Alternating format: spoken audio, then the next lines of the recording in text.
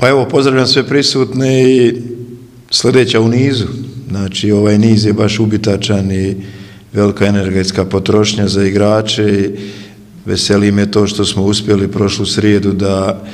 eliminišemo ekipu radnika iz Bijeljne, to je da se plasiramo u sljedeći krug kup takmičenja,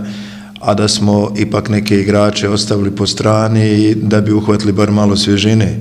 Dakle, poslije gostovanja u Mostaru, kad pričamo o prvenstvenim utakmicama, prethodno dvije pobjede ovdje na domaćem terenu, evo ponovo igramo na domaćem terenu protiv Goška i sigurno je da je to utakmica koja bi mogla da nas uvede u, u miran tok nastavka jesenjeg dijela, jer ide ubrzo i repstativna pauza i vi znate da sam ja rekao već da u prošloj repstativnoj pauzi u septembru nismo želi da igramo kontrolnu utakmicu, nego da treniramo, da dignemo intenzitet. Ovaj put ćemo malo drugačije postupiti, jer ovo je osam utakmica u 22-23 dana, to je, to je nemoguće izdržati za, za mnogo ozbiljnije e, klubove evropske, a pogotovo za nas. Ali evo, momci izdržavaju, Gošk nam dolazi u goste, veoma, veoma nezgodna ekipa ukoliko se ne uđe sa njima u utakmicu na način da si potpuno spreman i mentalno i fizički i taktički pogotovo, jer ne treba zaboraviti da, da je Goško u posljednje tri utakmice osvojio sedam bodova, a isto tako kao i mi, do duše mi smo i pobjedili i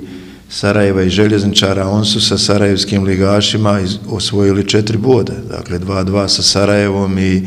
i 3-2 su pobjedili na Grbavici.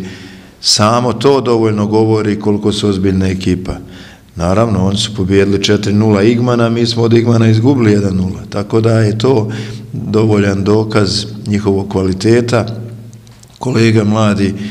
na klupi, Goška Ćorić, to radi izuzetno dobro, E,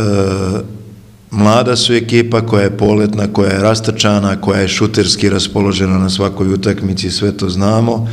Bavili smo se njima i bavimo se evo i danas i mislim da ipak pred našom publikom ovdje na stadionu Luke da bi mi trebali biti favoriti protiv svake ekipe, uvažavajući maksimalnu ekipu Goška, opet kažem, ali mislim da mi imamo kvaliteta i mislim da smo mi u ovom trenutku u jednoj dobroj, pozitivnoj, psihološkoj, stabilnoj priči i očekujemo od igrača naravno da samo da daju svoj maksimum. Već sam rekao, Goški igra specifično i oni mijenjaju sistem igre nekad s tri pozadi, nekad s pet, nekad s četiri, tako da ćemo to tek znati kad dođu ovdje i kad počne utakmica, na što su se opredijelili, ali mi smo spremni za jednu i za drugu varijantu. Već sam rekao, energetska, energetska potrošnja je izuzetno velika, ali imamo dovoljan broj raspoloživih igrača. Ono što sigurno nemamo na raspolaganju, to je Siniša Dujaković koji je juče počeo da trenira s ekipom, ali to je, to je bez treninga, ne želim više napraviti grešku. Kao što sam napravio, evo, slobodan sam da kažem, ja ću uvijek reći, ako je do mene, grešku sam napravio oko, oko Bojana Batara, i njegovog nastupa, treći nastup u osam dana, za njega je bilo previše i on je u Mostaru, nažalost, doživio ipak malo kompleksniju povredu.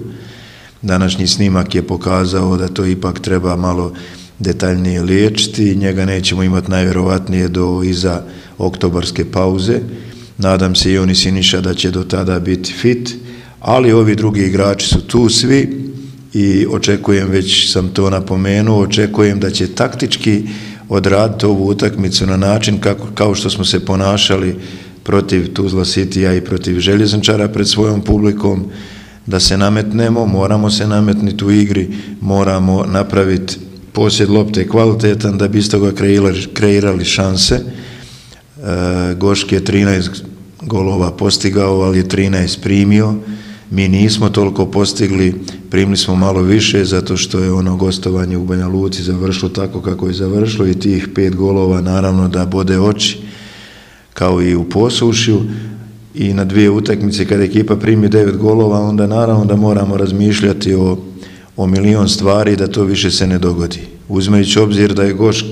veoma efikasan, znači moramo biti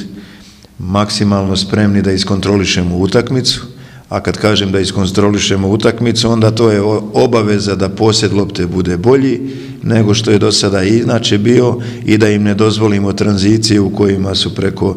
Mihaljevića, Šere, veoma nezgodni Mandića, trenirao sam Hasukića i Gogića, pravi momci, dobri igrači, vidim da su našli svoje mjesto u ekipi Goška i svi su oni na neki način potentni, dokazuju se jer su to sve igrači koji su najviše igrali iz Mihaljevića, najviše igrali u prvoj ligi federacije. Tako da e, spremni smo za utakmicu, imamo još danas i sutra dva treninga i nadam se da ćemo biti podržani, što bi mi izuzetno bilo drago da publika se odazove. Nedelja je 15 sati, mislim da bit će i ugodan dan ovde i mislim da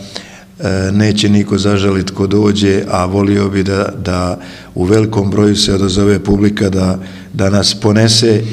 još jednom, jer treći put u nizu pobijediti na domaćem terenu bi bio veliki rezultat za nas i kažem, uveo bi nas u, u mnogo mirniju luku. E, zvanično pozivam znači navijače da dođu i neko očekuju od nas da ćemo zadnji atom snage dati za ono što nam je osnovni cilj, a to je pobijediti utakmicu. Prvo da vas sve pozdravim, e, sigurno da nas očekuje jedna jako teška i zahtjevna utakmica protiv ekipe Goška. Ekipa Goška koja u posljednje vrijeme igra jako dobro i to pokazuju njihovi rezultati u posljednje 3-4 utakmice, ali mi smo fokusirani samo na sebe i e, jako smo dobro trenirali ovu sedmicu, napravili smo jednu jako dobru vertiru, kup utakmicama protiv radnika u Bijeljni, spremno dočekujemo ovaj meč i ovim putem bih pozvao sve naše navijače i simpatizere sloge Doboj da dođu u što većem broju i da nam daju podršku da zajedno ostvarimo naš zajednički cilj.